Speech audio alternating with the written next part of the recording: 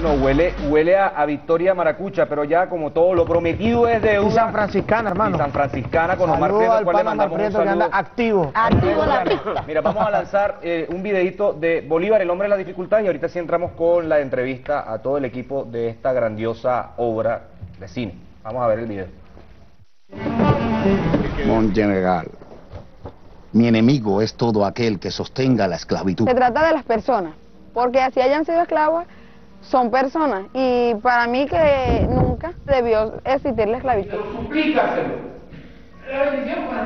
Y entonces tú podías llegar a extremos como la constitución republicana en Venezuela, la primera, que declara algo tan hermoso como todos hemos nacido iguales, todos tenemos los mismos derechos, ah, pero tú como que no eres tan igual que nosotros porque eres menos humano. Te negaste de tu pasado, como cuando le diste la libertad a los esclavos de San Mateo. Son seres humanos, merecen la dignidad de ser libres. ¿Dignidad? Que de alguna manera aprendamos como lección, o porque me interesa a mí aprender como lección, porque no trato de leccionar a nadie. Y es saber que incluso somos capaces de justificarlo. Dios hizo a los negros inferiores para que pudiéramos cuidarlos y para que le diéramos la dignidad de que trabajaran para nosotros.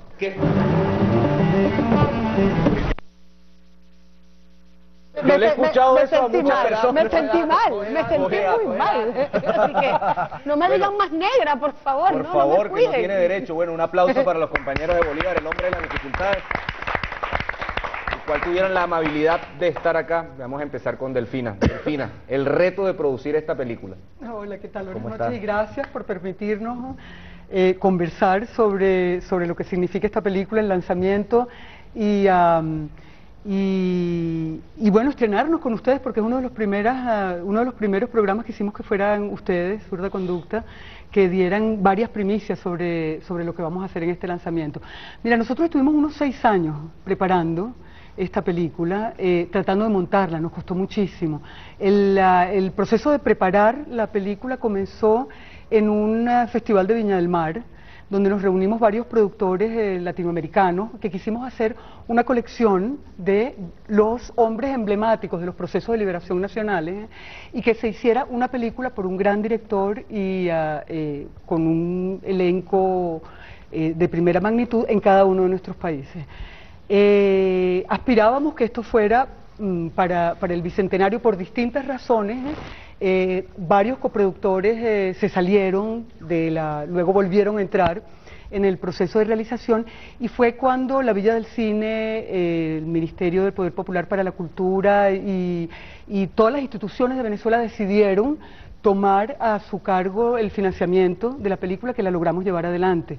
En ese momento, eh, Luis Alberto, que fue desde siempre nuestra, nuestra opción de, dirección, salió con la idea de contar esta, este momento de la, de la película, eh, de, la, de- la vida de Bolívar, y, ah, y se llevó por delante todas las otras ideas que teníamos todos desde hace seis años, porque verdaderamente era el momento de la vida de Bolívar que había que contar, el momento, como dice Luis Alberto, el momento en que Bolívar se convirtió en Bolívar. La Mata, ¿qué fue en, en ese sentido el rodaje de la película lo más satisfactorio? Dirección de fotografía, el guion, cómo Mira. fue esa investigación histórica del personaje, porque supuestamente se ha generado como, se- yo he escuchado las entrevistas, ¿no? Que te focalizaste un poco en una parte de, de- de- de Bolívar particular, no quisiste abordar la gran historia, ¿no? Ese gran metarrelato que significa Bolívar, sino esa parte en particular donde se ve y se denota el Bolívar humano, ¿no? Ese Bolívar hombre de las dificultades. Mira, es un poco como lo cuenta Delfina, ¿no? Yo eh, había la idea de contar a Bolívar en un momento de su historia y que tuviera que ver, digamos, con la etapa de la Gran Colombia, de lo que llamamos la Gran Colombia, su relación con Manuelita, su- sus dificultades con la oligarquía peruana. Cualquier Bolívar que tú agarres es interesante. Bolívar es un, ser extraordinario. Y yo les propuse y de alguna manera los, convencí les, les vendí la idea de que hay un Bolívar que poco conocemos, que es el Bolívar de Jamaica, el Bolívar de Haití, el Bolívar en el exilio.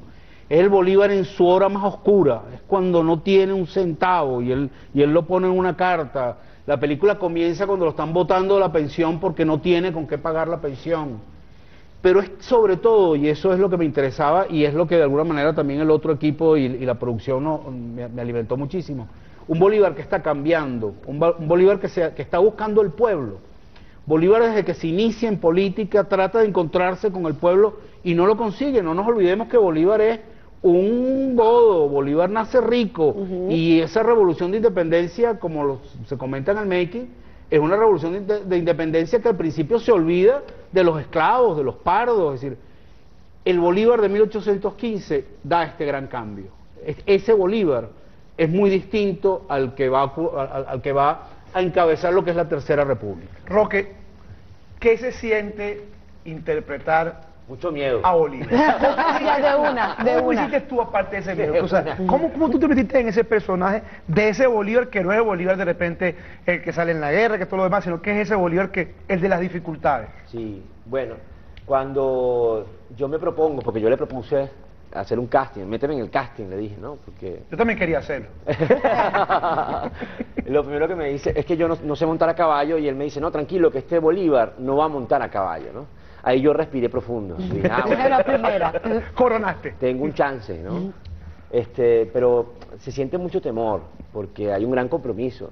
Pero una vez que yo fui conociéndolo gracias a la, a la mano del, del director, justamente estábamos hablando ahorita atrás de cámara que libros que yo tuve que consultar, que estuve leyendo, que no era básicamente aprenderse de memoria pensamientos del Libertador, ni fechas emblemáticas del Libertador, sino anécdotas alrededor de la historia de nuestro Libertador Simón Bolívar, me fueron nutriendo y me fueron acercando hacia un ser humano. Entonces, hoy por hoy, ¿cómo no ser bolivariano? ¿Cómo no acercarse a Venezuela este, y decirle, mira, este, hay que respetar a este señor porque era un hombre de verdad, era un señor, eh, un ser humano tangible, estaba allí, existió, no era una estatua, no era un gran pensamiento grandilocuente montado en un caballo blanco con una espada arriba, ¿no?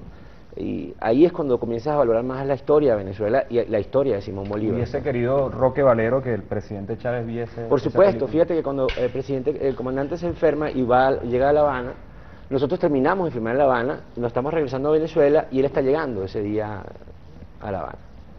Y lamentablemente, pues no, las circunstancias, nosotros estrenamos la película el día, el martes 6, con la presencia del presidente de la República, Nicolás Maduro, y, no tuvimos la, la fortuna de poder mostrarle este Bolívar, además que el comandante habló de este Bolívar.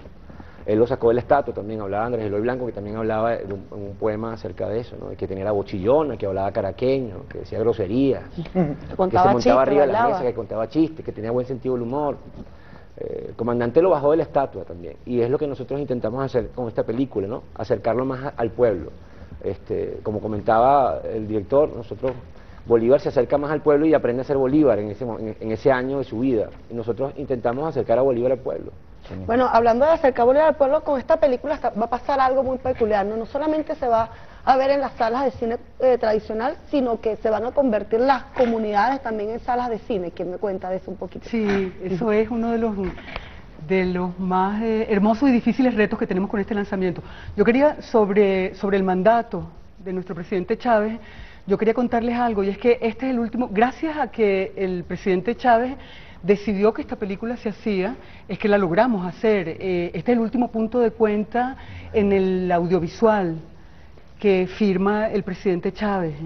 Y, ah, y allí quedamos con su legado, con su mandato, y aquí estamos estrenando por una vez Cumpliendo. misión Cumpliendo cumplida. Misión cumplida. Y, am, y esta decisión, por supuesto, que, que, que la seguimos llevando adelante. Vamos a seguir en ese mismo punto de cuenta. Él firmó la, la realización de la película de Román Chalbaud, La planta insolente. Fueron las últimas dos películas que gracias a nuestro presidente Chávez eh, se harán y vendrán muchas otras gracias a, a- a esta nueva gestión. Bueno, ¿sabe Eh, con respecto Adelante, a las proyecciones de calle, tenemos dos semanas después que salgamos en las salas comerciales y al mismo tiempo que salgamos en las salas comerciales, porque en todas las giras de medios vamos a tener, en diferentes partes del país vamos a tener eh, proyecciones, vamos a hacer eh, una proyección popular y una proyección popular de plaza y luego vamos a subir a cada una de las comunidades, a cada una de las comunas con proyecciones eh, a las cuales van a invitar Luis Alberto, va a invitar eh, Roque, van a invitar los otros actores.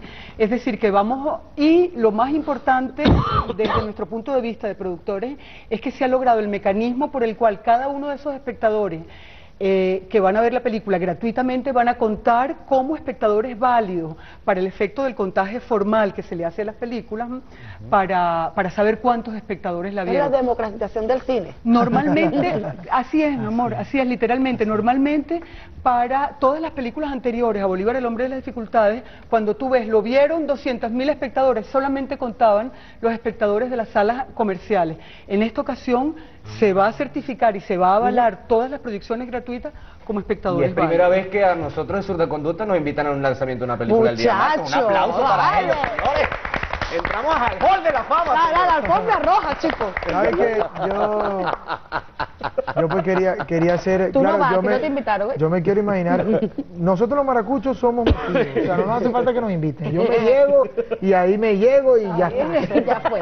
Bueno, pero yo quería hacer una pequeña reflexión porque normalmente cuando uno de pequeño lo llevaban al cine, a uno le decían, ah, ¿cuál vamos a ver? "Eh, no, yo quiero esa, esa es venezolana. Sí. Entonces uno como que, esa es la que yo quiero ver. no, que esa es venezolana, otra.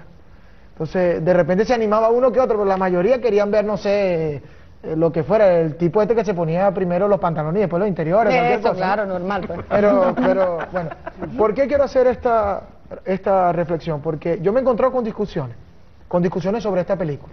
En la calle, pues, la gente, no, yo quiero verla, no sé qué. Hay una ver". polémica que Claro, claro, no, que, que supuestamente Bolívar ahí, Se eh, que, no, y que era, Sí, se intenta y que, y que no, y que tenía muchas novias y no sé qué. Hay una serie de cosas que se han desatado con respecto a la película, pero muy particularmente como joven venezolano, militante de la revolución, yo quiero felicitarlos a ustedes, felicitarlos por la valentía de dibujar la historia. Gracias. Porque en el colegio, bueno, yo tuve la fortuna de que estudié en los niños cantores y desde muy pequeño se me, la Carta de Jamaica, Manifiesto de Cartagena, Grito de Guerra Muerte, y estudiar a Bolívar, a Bolívar y a Bolívar.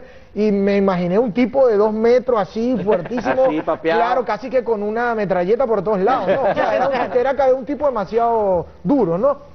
Pero hay otros compañeros que no, hay otros compañeros que Bolívar nació el 24 de julio, una, una señora de la... el afiche ese que, el afiche- que tenía un piso de mosaico un con la piso- espada con la espada así, eso era lo y, Bolívar salía como medio, como medio Eh, medio extraño. Y resulta que en esa película sale otro Bolívar, pero hay gente de la oposición que descubrió y tiene una tesis que Bolívar nació el 24 de diciembre, te lo puedo demostrar.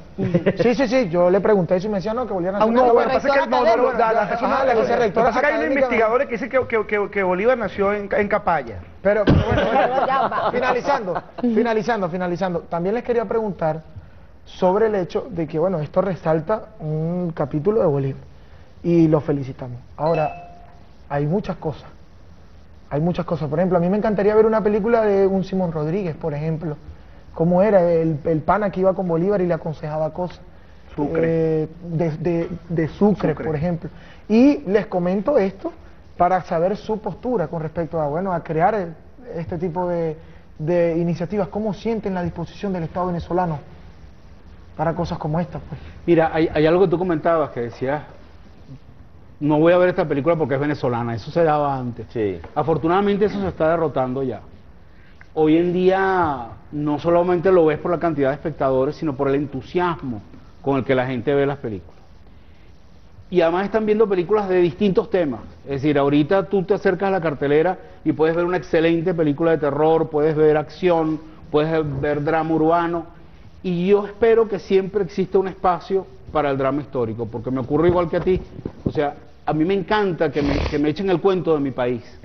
Me encantaría ver la película de Simón Rodríguez. Además creo que cada generación deberá hacer la suya. Es decir, probablemente hagamos una película de Bolívar hoy en día y se va a estrenar otra un poquito después y es interesante contraponer y ver y contrastar. Creo que, creo que ese esfuerzo es, es importante. Y que debemos dejar atrás una época. Así como tú te decías, no, no vayas a ver cine, que eso es cine venezolano. A mí me dolía mucho, ya haciendo cine venezolano, que si yo quería buscar una película nacional en, en una tienda como Blockbuster, por ejemplo, de, vi- de- de video, tú, nuestro cine, tenías que, que buscarlo en la sección de películas extranjeras. Imagínate. Ahí es donde estaba el cine Las cosas raras, pues. Sí. Mira, una, una pregunta, en, la, ma- en el caso particular de La Mata, porque siempre lo veo con esa, voy a llamarle así, ese ensañamiento con la historia, ¿no? Porque además también eh, el tema de, bueno, de dibujar eh, esta, esta, esta gran historia que significó la independencia, la, la independencia pues eh, incentiva o determina que la persona que lo dirige, por ejemplo, tenga que aferrarse a los libros. ¿Cuál de los libros que has leído, La Mata de Bolívar, es el libro que más te ha impactado? Mira, muchísimo. Yo creo que todas las biografías de Bolívar de alguna manera te, te iluminan algún aspecto de, de- ese gran hombre que fue, de ese hombre fascinante. En el caso de esta película, nosotros nos basamos sobre todo en las cartas de Bolívar. Es decir, nos interesaba mucho qué era lo que decía el propio Bolívar sobre su vida. Hasta la idea que en Jamaica y en Haití este es un político abandonado, es un político cercado, con el imperio español conspirando para matarlo, y que casi que su única actividad política es escribir cartas.